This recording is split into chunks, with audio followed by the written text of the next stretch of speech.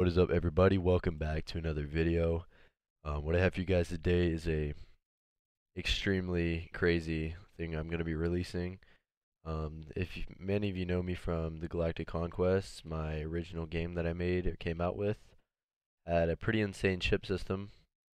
And today I'm going to be releasing it for the public, for everyone to use throughout the genre, and just really anybody who wants it. It can be used for any genre, but it's primarily for Star Wars, so... Um, yeah, let's get into it. So, the model will be in the description. Um, anybody can have it, but uh, there are things that you're going to need to know. Like, this is a pretty complex system. So, there, everything will be in the description you need. Uh, any plugin, any anything you'll need. So, let's get into it. Um, the model looks like this when it spawns in. It's kind of confusing, but let's get into it. So, like my other system, we're just going to take out what's inside the folders and put them how they're labeled. So if it says workspace, you take these three items out of that folder, put them in workspace, delete the folder, you're done. Starter player scripts, drag that down, put it in there, close it up, and delete. You guys kind of get the pattern here. So take these three GUIs, close it up, and get rid of it. Starter character scripts, close it up, Delete server storage. Close it up. Delete. Server script service. Close it up. Delete. And finally replicate it. This is the big monster right here. Drag all that into replicated storage. Close it up. Oh, and that's really all you need. So you can go ahead and get rid of the model. Now, basically what has been put in the game so far is everything you'll need, including I I was nice and I included a like a base model ship for you guys to use here, and uh, yeah, so there's that. But you can make your own chips. I know a lot of you want to make your own chips and stuff, and that's what we're gonna get into next. So this is where it kind of gets complex. So I'm just gonna use this ship as an example. You just want to take this model, or let's just take this whole folder as an example paste it into workspace. So if you're wanting to make a new ship, let's say this was my new ship. Um, and you have a folder inside called parts. Basically everything inside parts is your ship and it's separate from the turrets that are on this, but everything inside this is going to need to be welded together. So what you're going to do is you're going to right click on this folder, select children, and this is uh, the plugin will be in the description. You're going to need the weld plugin. Have it right here. Just click weld and it will weld all the parts together. Really simple. Um, turrets are a different story. So turrets, like I said, are separate. They're under the same model, but they're not actually in the parts folder. Um, these would these attach onto the ship separately. So what you do is you just you can have as many turrets as you want, but you're gonna need to do this. So uh, open the turret up and go to base. yeah, as you can see, it's gonna be like an invisible block right below the whole turret. Um, and you're actually going to need to select a part from the ship. So let's open your parts folder and we'll just find this part real quick. You're welding it to. So we're going to weld it to this piece right here, this little block here. It is touching with that. Uh, keep it selected and then hold control and select base. Oh, I actually don't think they're touching. Okay, one second. Let's find a different part. Let's find this cylinder here if we can't. This might be it. Cylinder. Yes, okay. Select this. Hold control, select base, and like I said, plugins, click weld, and then you're done. Um, I wouldn't recommend changing the turrets. I mean, you can kind of change this design, but it's kind of complicated to change the turret's design. Um, mostly what doesn't need to be messed with is the base and these barrels right here. You can kind of make your own design, but it's just, you have to like redo everything. So I would recommend just keeping this turret, but if not, um, you can always change it. You just might have to re-weld some stuff. Anyways, that's how to like set up a ship. Um, and there, I've had problems in the past with the welding, so just make sure you take your time.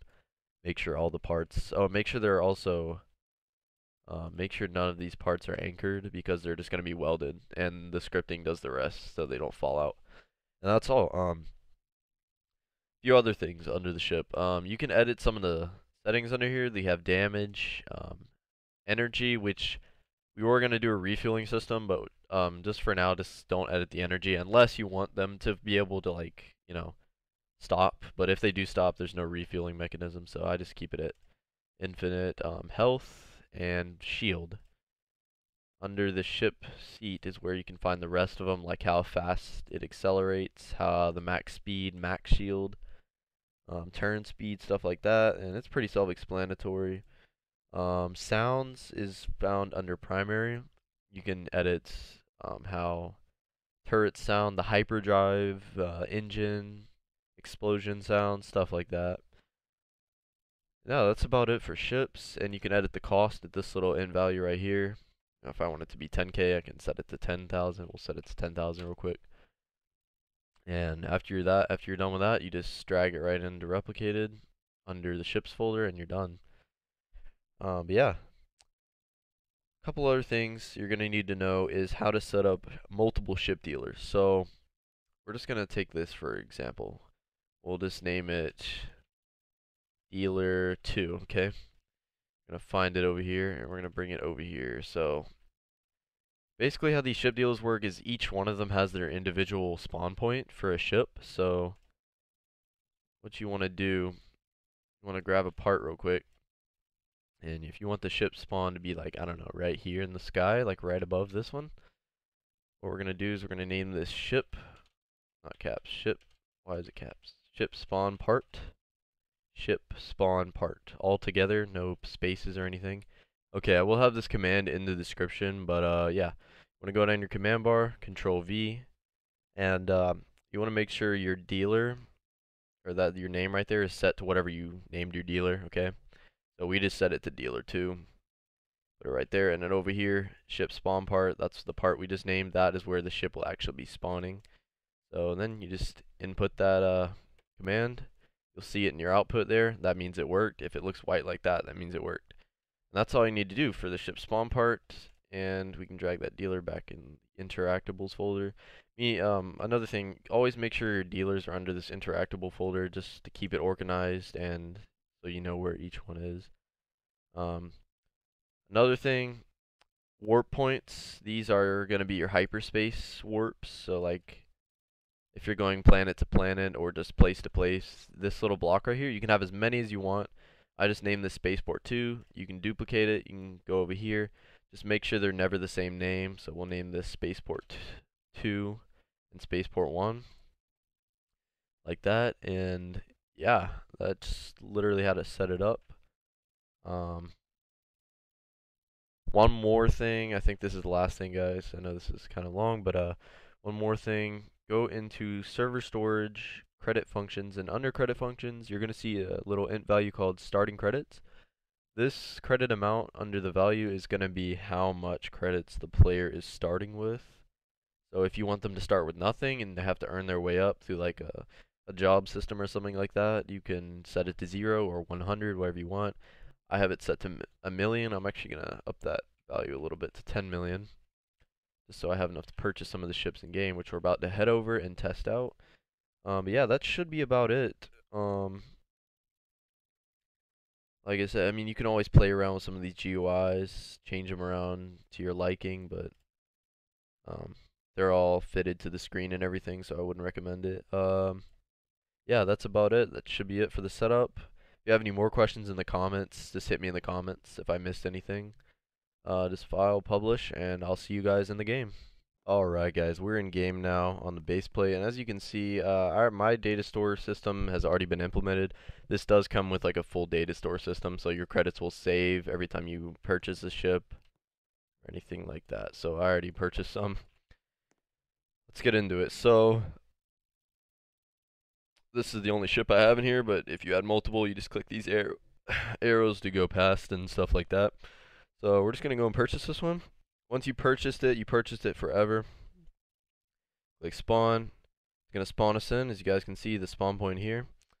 And it does have a little glitch where it, when you first spawn in, you just have to get out of the seat, but you can see there, ship is starting up.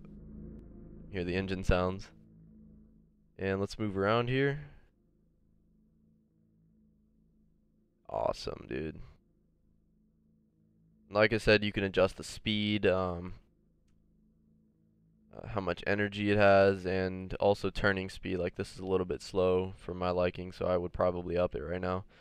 And let's just test out the turret to make sure it's all working. The other seat and the turret seems to be working.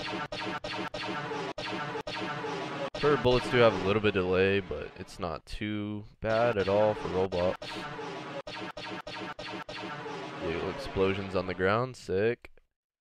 Alright guys, if you did enjoy this tutorial and you do want to see another crazy one like this, I got loads of more stuff I want to give out from this project specifically. Um, any questions, hit me in the comments or hit me on Discord. I hope you guys enjoy this system. It's probably going to be crazy because the amount of like people that are going to see this and use it. I can't wait to see all the different games that come out with this. But um yeah, I'll see y'all later. Hope you enjoyed. Peace. Oh yeah, and like and subscribe.